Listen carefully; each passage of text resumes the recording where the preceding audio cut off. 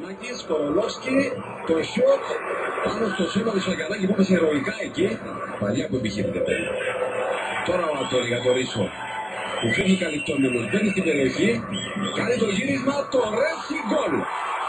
2-0 ο το Ρέσι δεν σκόραρε στο πέναντι στο 21ο λεπτό, το κάνει τώρα και δίνει το προβάδισμα 2 τερμάτων για τον Απόλλωνα 10 λεπτά πριν το τέλος. Πρώτο φετινό τέρμα για τον Αργεντινό το πρωτάθλημα.